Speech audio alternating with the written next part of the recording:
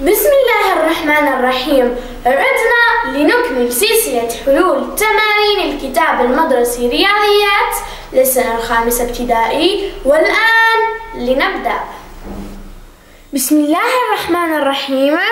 حلول الكتاب المدرسي رياضيات للسنة الخامسة ابتدائي الدرس الثاني عشر الضرب في عدد بثلاثة أرقام.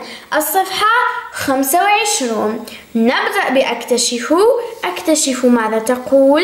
تقول هذا وصل طلب وضعه مدير مدرسة لتجهيز قاعة المطعم. هذا وصل طلب أو هذا ما طلبه المدير لتجهيز قاعة المطعم. لدينا ها هي قاعة المطعم وأعطانا جدول. الجدول هنا هو عبارة عن الوحدة وهي الطاولات الكراسي والصحون أو اشترى المدير أو المدير المدرسة طاولات كراسي وصحون. ولدينا الكمية ثمن الوحدة المبلغ والمجموع.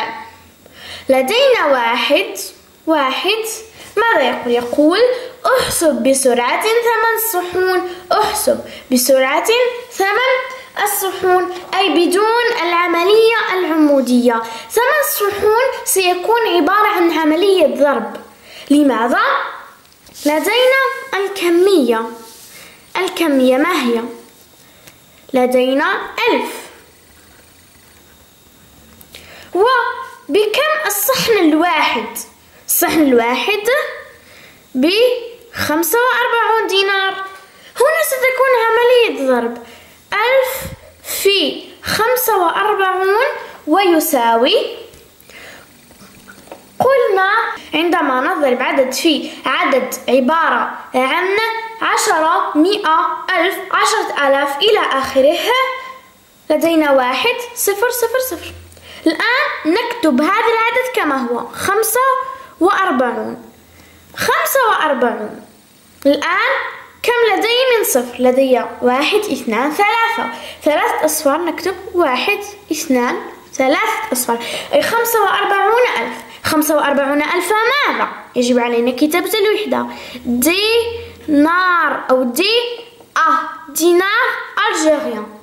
أي الدينار الجزائري. لدينا الآن نكتب جملة الإجابة. جملة الإجابة هي ثمن الصحون هو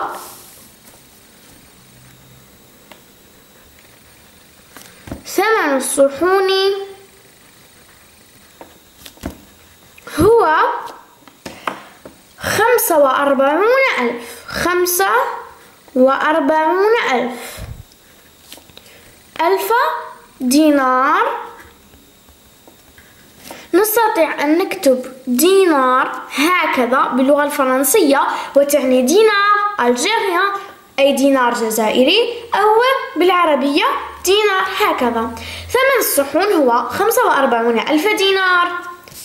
الآن اثنان اثنان أحسب ثمن الطاولات أفقيا. أحسب ثمن ثمن الطاولات أفقيا. الآن السؤال الثاني. سؤال ثاني قال لي أحسب ثمن طاولات أفقيا. لنرى أولا العملية. العملية كيف ستكون؟ ستكون ب لدينا الكمية. الكمية أو إشترى واحد وثلاثون طاولة. واحد وثلاثون طاولة. وثمن الطاولة الواحدة هو ثلاثة آلاف وثمانمائة. كيف نجد الثمن؟ هنا سنقوم بعملية الضرب. ويساوي ويساوي. هنا نكتب النتيجة. النتيجة طبعا ستكون بالدينار. الآن قال لي أحسب ثمن طاولات أفقيا. لا أستطيع القيام بالعملية هنا. لذا سنحلها على طريقة على طريقة أمين أو في الدرس السابق وهو الضرب في عدد برقمين الدرس الحادي عشر والصفحة أربعة وعشرون. أعطونا طريقة لحل عملية الضرب أفقيا وهي بالتفكيك بالتفكيك ووضع مخطط. هنا نبدأ بوضع المخطط.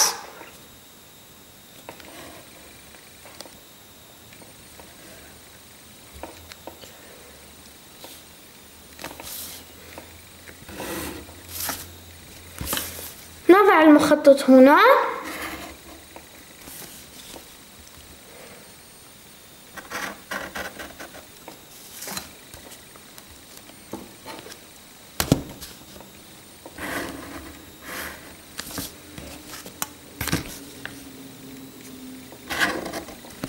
الآن ها هو المخطط أمامي. لنرى هاته الآلات. لدي لدي واحد وثلاثون. لنفككها نفككها. فتصبح عبارة عن ثلاثون وعبارة عن واحد. ثلاثة آلاف وثمانمائة نفس الشيء. نفككها تصبح ثلاثة آلاف ثلاثة آلاف و ثمانمائة ثلاثة آلاف وثمانمائة. الآن نقوم بالضرب. هنا نضرب. نضرب ماذا؟ ثلاثون في ثلاثة آلاف. من يعطي النتيجة بسرعة؟ أحسن. هنا كيف؟ نعطي النتيجة بسرعة. لدينا ثلاثون في ثلاثة آلاف. سنغطي سنغطي الأصفار. فتبقى لنا ثلاثة في ثلاثة. ثلاثة في ثلاثة تساوي ثلاثة في ثلاثة تساوي تسعة. الآن نكتب باقي الأصفار. لدينا ثلاثة أصفار لثلاثة آلاف والصفر لثلاثة فتصبح تسعون ألف. نفس الشيء هنا. ثلاثون في ثمانمائة ثلاثة في ثمانية. ماذا تعطينا؟ تعطينا أربعة وعشرون ثم نكتب الأصفار. نكمل بكتابة الأصفار. لدينا هنا صفرين وهنا صفر واحد. أربعة وعشرون ألف. الآن واحد في ثلاثة آلاف. أي عدد نضربه في واحد يبقى نفسه. واحد في ثلاثة آلاف ويساوي ثلاثة آلاف. واحد في ثمانمائة نفس الشيء ويساوي ثمانمائة. الآن نقوم بعملية الجمع. نقوم بعملية الجمع. عملية الجمع أي نجمع كل هاته النتائج. أو هنا قال لي أحسبها أفقيا. أفقيا أي واحد وثلاثون في ثلاثة آلاف وثمانمائة ويساوي كل هذه النتائج نكتبها تسعون ألف زائد أربعة وعشرون ألف زائد ثلاثة آلاف زائد ثمانمائة زائد ثمانمائة ويساوي الآن سنقوم بعملية الجمع. عملية الجمع. تسعون ألف زائد أربعة وعشرون ألف زائد ثلاثة آلاف زائد ثمانمائة ويساوي صفر زائد صفر زائد صفر زائد صفر تعطينا صفر. الآن صفر زائد صفر زائد صفر زائد صفر تعطينا صفر. أي نفس الشيء. ثمانية زائد صفر زائد صفر زائد صفر. ويساوي ثمانية. الآن لدينا ثلاثة زائد أربعة. ثلاثة زائد أربعة ويساوي سبعة. الآن لدينا تسعة زائد اثنان ويساوي إحدى عشر. لدينا الآن نتيجة وهي مئة وسبعة عشر ألف وثمانمائة ويساوي مئة وسبعة عشر ألف وثمانمائة الآن أكملنا. السؤال الثاني أو المطلوب الثاني. الآن نكتب الإجابة. ثمن الطاولات. ثمن الطاولات.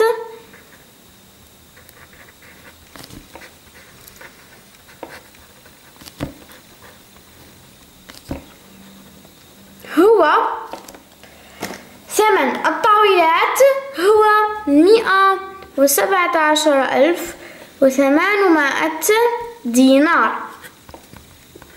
دينار.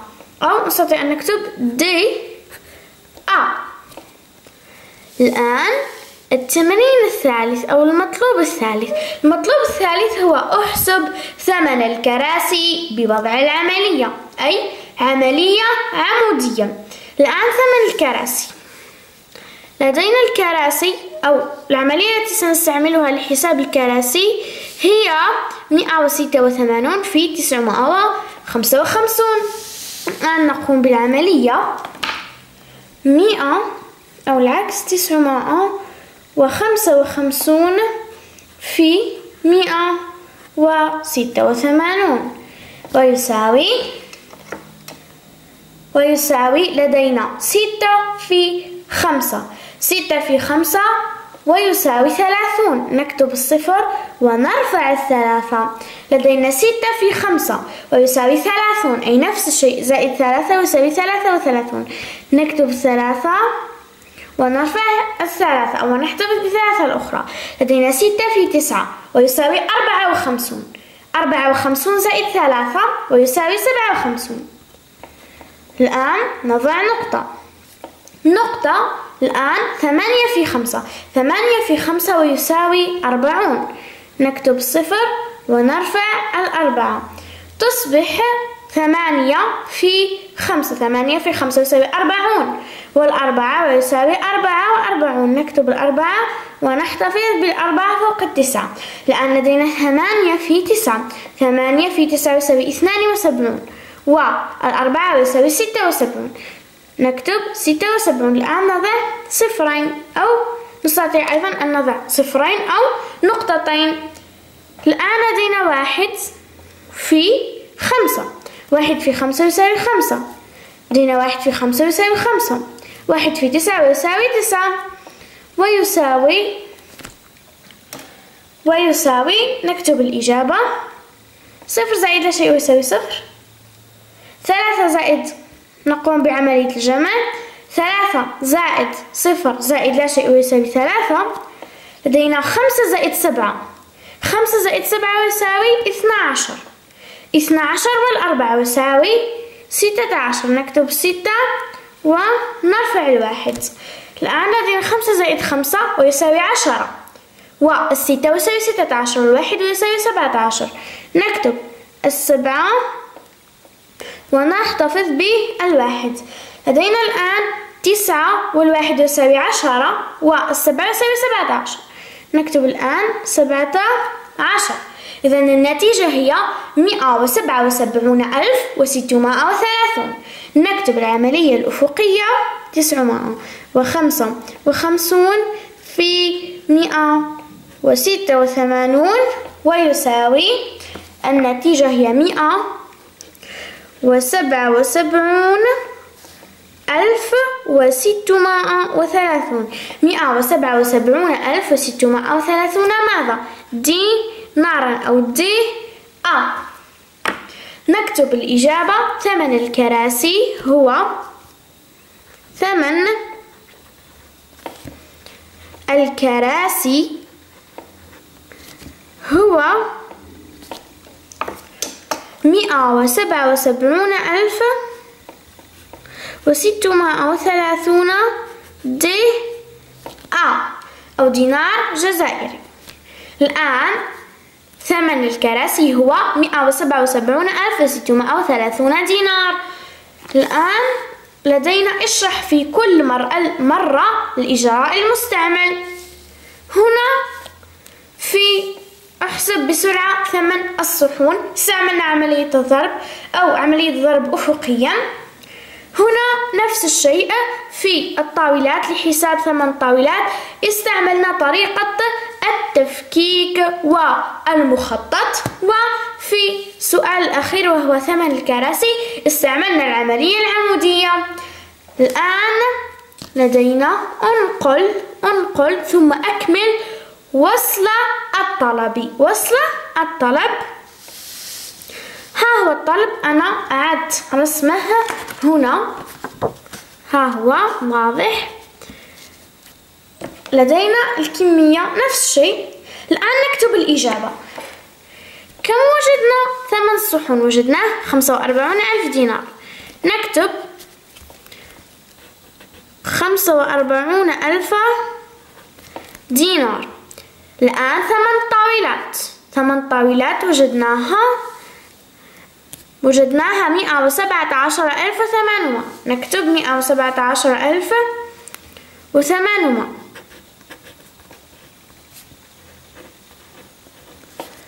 وأيضا ثمن الكراسي. وجدنا ثمن الكراسي مئة وسبعة وسبعون ألف. نكتب مئة وسبعة وسبعون ألف وستمائة وثلاثون. ها هي كتبنا الثمن. الآن تبقى لي أن نحسب أن أحسب المبلغ. المبلغ أي المجموع. هنا تبقى لي أن أحسب المجموع. لدينا المجموع هو عبارة عن ثمن. الطاولات أو ثمن الكراسي. ثمن الطاولات زائد ثمن الكراسي زائد ثمن الصحون أي مئة وسبعة عشر ألف وثمانمائة زائد مئة وسبعة وسبعون ألف ستمائة وثلاثون زائد خمسة وأربعون ألف. الآن نقوم بالعملية. مئة وسبعة عشر ألف وثمانمائة زائد مئة وسبعة وسبعون ألف وستمائة وثلاثون زائد خمسة وأربعون ألف ويساوي نقوم بالعملية صفر زائد صفر زائد صفر ويساوي صفر صفر زائد ثلاثة زائد صفر ويساوي ثلاثة. لدينا ثمانية زائد ستة ويساوي أربعة عشر نكتب الأربعة ونرفع الواحد أو نحتفظ بالواحد. تصبح خمسة أو سبعة زائد سبعة ويساوي أربعة عشر والواحد ويساوي خمسة عشر والخمسة ويساوي عشرون. نكتب الصفر ونرفع الاثنان.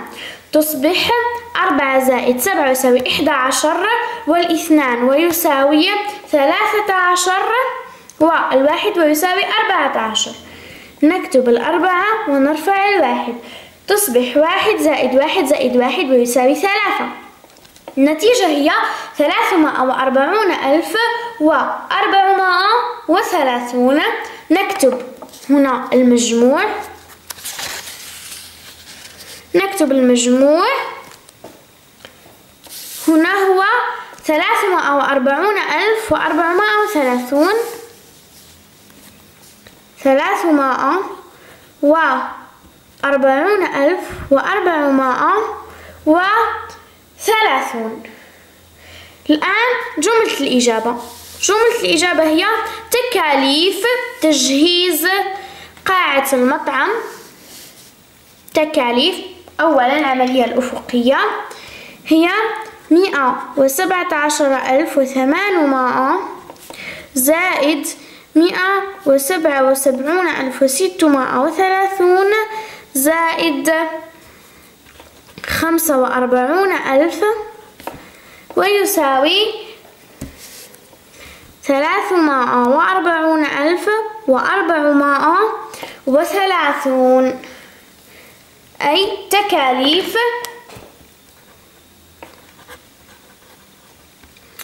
تجهيز.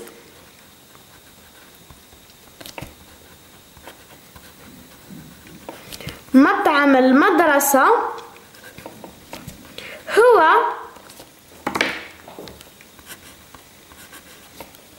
هو ثلاثمائة وأربعون ألف وأربعمائة وثلاثون دينارا أو دي آه نكتب الإجابة. تكاليف تجهيز مطعم المدرسة هو ثلاثمائة وأربعون ألف وأربعمائة وثلاثون دينارا. والآن لم يتبقى لي إلا أن أشكركم فشكرا على المشاهدة. نلتقي في فيديوهات شروحات أو دروس أخرى. والآن إلى اللقاء.